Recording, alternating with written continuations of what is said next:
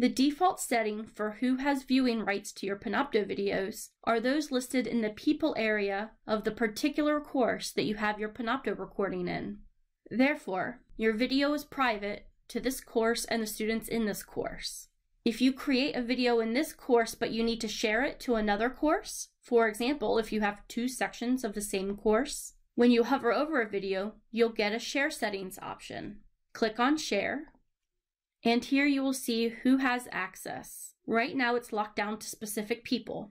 You can allow this one video to be shared to anyone at your organization, Salisbury University, who happens to have the link, anyone at the organization, anyone with a link in or outside of the organization, or public on the web. Your permission settings go from the most strict viewing permissions to the most public viewing permissions. If you want to keep your course content private, ID&D recommends keeping your settings set to specific people or anyone at your organization with the link if you need to share it out to someone else at SU. Sharing to anyone at your organization will make your video public to anyone at Salisbury University whether they have the link or not. So be aware of your privacy settings.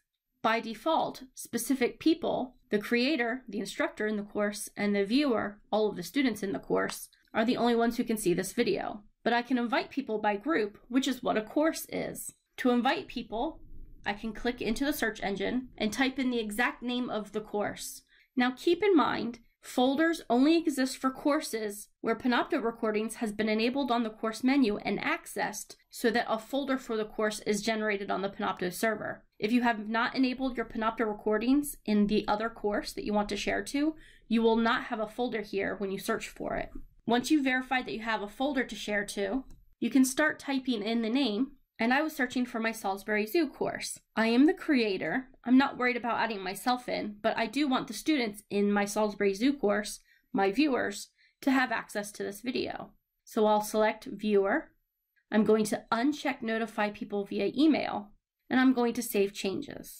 And now you'll see that the students in this course and my Salisbury Zoo course will be able to access the same video. I can continue to add as many courses as I would like to.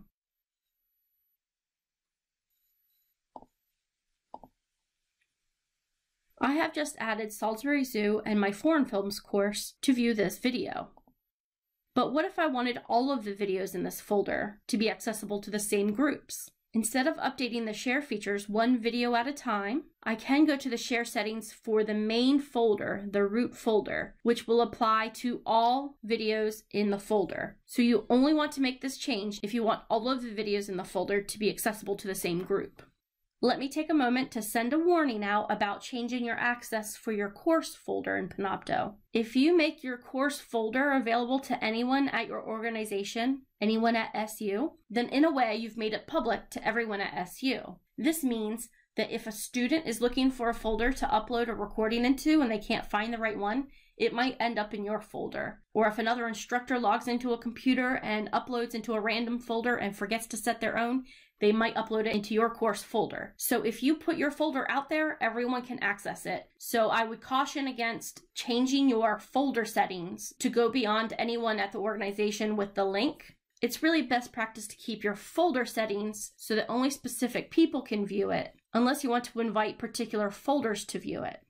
Now, if you have multiple course folders and you wanted to record a video for your film studies course, but you accidentally recorded it into your Assimilating Korean Culture course, there is a way to move your video from one folder to the other, but you will not have that option in the My Classes instance of Panopto. This is an instance of Panopto that's scaled down and the functionality is reduced so that you have like a shortcut here.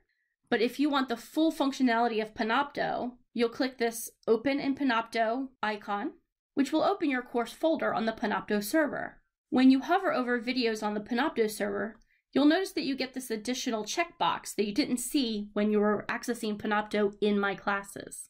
When you click on that box, you will have the option to delete the video, move the video, or edit the share settings.